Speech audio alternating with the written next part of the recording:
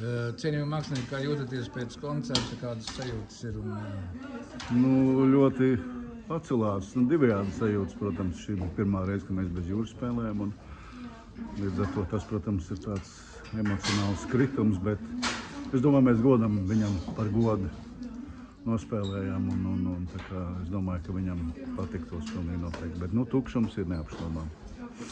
Jā, un eh, nu, noklausoties to mūzikas gabalu, diezgan smags un tāds eh, ļoti nopietns mūzikas darbs. Un, eh, ko varētu tādu pozitīvu pateikt, kā tādu nu, tekstuālu, teiksim, tādu turpinājumu šim te mūzikas gabalam. Nu, turpinājums, es domāju, sekos tikai, ka mēs viņu vēl iz- izpildīsim. Jo šī jau mums bija kaut kāda piektā reize, kad mēs viņu spēlējām. Kā Tas ir jau vairāk kā desmit gadu vecs gabals. Tas ir, jā, jā.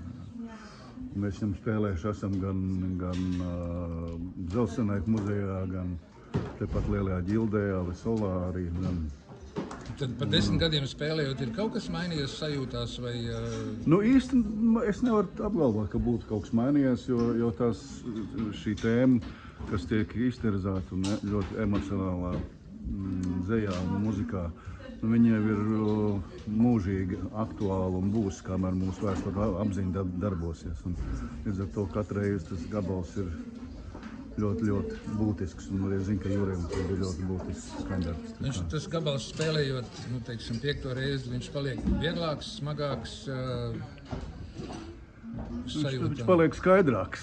Skaidrāks.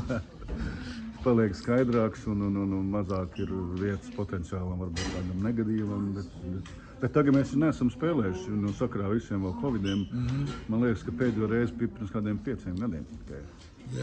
Ko tu varētu pateikt jauniešiem, kas vēl nav dzirdējuši šo gabalu, kāpēc viņiem vajadzētu viņu dzirdēt? Vai, ā, Nu, Pirmkārt, tas ir no mūsu, kā jau minēju, no mūsu vēstures apziņas ļoti, ļoti būtisks vēstījums. Un, un jauniešiem ir jāzina par to, kas ir noticis. Un, un Pēterā Egara dzēja ir ļoti, ļoti uh, emocionāli un personīgi uzrunājoši. Un, un, un, jo arī viņš pats izbaudīja visu to, ko viņš rakstīja. Un, un, un, un Jūras ir pielicis muziku. un Es domāju, jā, tā, tas ir tāds labs balans. Un jauniešiem, tiem, kuri sevišķi interesē pērkona daļradu, tad tas būtu ļoti es domāju, svarīgi viņiem to būtu noklausīties. Jā, Lielas paldies! nav par ko.